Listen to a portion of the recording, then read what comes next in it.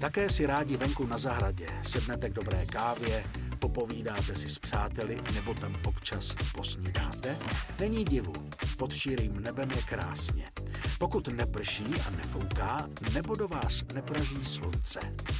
Tak když jsem postavil s rodinou barák, tak jsem si říkal, co na zahradu, protože rádi trávíme čas venku, grilovačky a tak. A pergola byla v podstatě jako jasná volba. Takže pak už stále před náma otázka, z čeho bude ta pergola. Tak jsme říkali, buď ze dřeva, z hliníku. No, dřevo nám přišlo docela náročné na údržbu, tak jsme šli vlastně do toho hliníku. Další, co jsme řešili, tak byla střecha. Byl tam polikarbonát, sklo nebo lamely. A u lamel se nám líbilo, že tam není žádný sklon a je to variabilní, takže proto jsme zvolili zrovna lamely. Další důležitá věc pro nás byla údržba samotné pergoly. Dřevo, jak víme, tak se musí častokrát ošetřovat, ať už jako nějakou barvou nebo čímkoliv, tak ten hliník je vlastně daleko snadnější na údržbu. Stačí se ustřít obyčejnou hadrou nebo jenom vodou. To, že jsme zvolili bioklimatickou pergolu, oceňujeme především v létě, kdy si můžeme jednotlivé lamely polohovat, takže můžeme mít v pergole stín i světlo zároveň. Ovládáním lamel ovlivňujeme nejenom stín a světlo, ale také proudění vzduchu. A samozřejmě není vždycky jenom slunečno, občas i prší, takže jsme vybrali takovou pergolu, která má odvodňovací kanálky, takže pod ní můžeme sedět, i když normálně prší.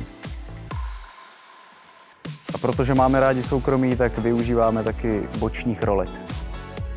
U nich jsem hodně řešil, eh, jak to udělat, když bude hodně foukat, aby se nezničili, ale k tomu existuje čidlo, takže vlastně, když fouká hodně, tak se rolety vytáhnou sami. Další výhodou rolet je, že nás chrání před deštěm a větrem z bočních stran. Manželka nejvíc oceňuje romantiku, které nám dodávají tady eh, integrované LED pásky. A já zase mám rád eh, elektřinu, která je usazená uvnitř pergoly, takže nepotřebuju žádné lišty.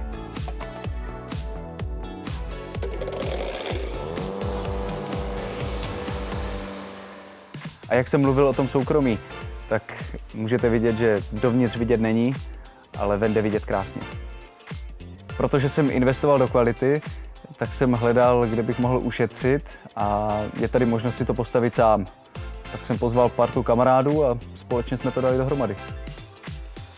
Stavební příprava nebyla vůbec složitá, stačilo nám šest betonových patek a přivést elektřinu k jedné z těch patek. Dalším krokem byly stojky, konstrukce, lamely a boční rolety.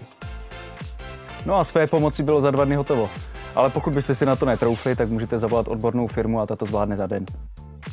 No stavba sice trvala dva dny, ale to, kdybyste viděli, jak dlouho manželka vybírala barvu, měla si vybrat z 12 ral barev, no a musím říct, že to trvalo díl, než my jsme to stavěli. No a nakonec jinak vybral barvu, kterou jsem vybral já. Hodně jsem přemýšlel, jak to bude v zimě se střechou, No a zjistil jsem, že když sníží standardně, tak je to v pohodě a když hlásí nějakou kalamitu, tak to pro jistotu otevřu a ten sníh propadne. Takže cajk.